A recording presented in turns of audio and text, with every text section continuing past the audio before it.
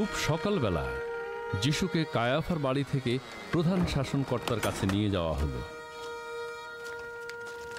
জিহুদি নেতারা প্রাসাদের ভেতরে ঢুকলেন না কারণ তারা নিজেদের রীতিগতভাবে সূচি রাখতে চাইল যেন তারা উদ্ধার পর্বের ভোজ খেতে পারে। তখন পিলাত বাইরে এসে তাদের জিজ্ঞাসা করলেন এই লোকটিকে তোমরা কি দোষাদোষী করেছ? সে যদি মন্দ কাজ না করত তাহলে আমরা তাকে আপনার কাছে আনতাম না। তাহলে ওকে নিয়ে গিয়ে তোমরা তোমাদের আইন মতো তার বিচার করো। কাউকে মৃত্যুর সাজা দেবার ক্ষমতা তো আমাদের নেই। কীভাবে নিজের মৃত্যু হবে যিশু আগেই তা বলেছিলেন। এটা ঘটল যাতে তার সেই কথা পূর্ণ হয়।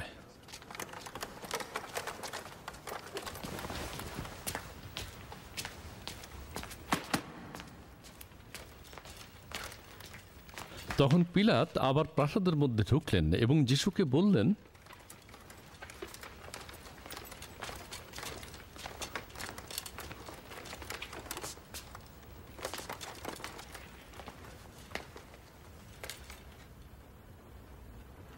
তুমিই কি জিহুদিদের রাজা?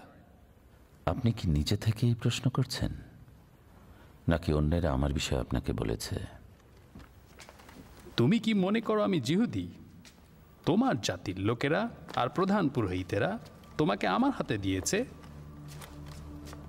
তুমি কি করেছ? আমার রাজ্য এই জগতে নয়। যদি আমার রাজ্য এই জগতের হতো তবে আমি যাতে জিহুদি নেতাদের হাতে না পড়ি সেই জন্য আমার লোকেরা যুদ্ধ করত। কিন্তু আমার রাজ্য তো এখানে নয়। তাহলে কি তুমি রাজা? আপনিই বললেন যে আমি রাজা। সত্যের পক্ষে সাক্ষ্য দেবার জন্যই আমি এই জগতে জন্মেছি ও এসেছি। যে কেউ সত্যের সে আমার কথা শোনে।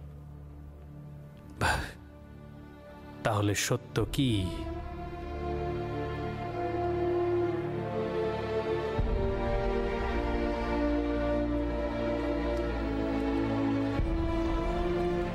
এ কথা বলে পিলাত আবার জিহুদি নেতাদের কাছে গিয়ে বললেন আমি এর কোনো দোষ খুঁজে পাইনি কিন্তু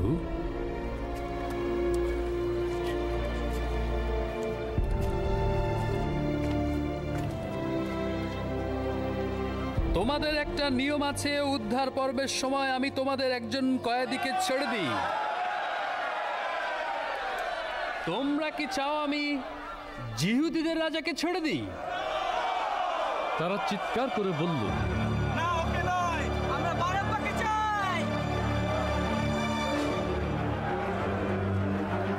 বারাব্বা ছিল এক কুখ্যাত ডাকাত।